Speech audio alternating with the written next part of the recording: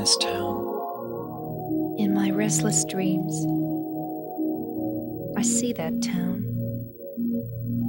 Silent Hill. You promised you'd take me there again someday. But you never did. Well, I'm alone there now. In our special place. Waiting for you.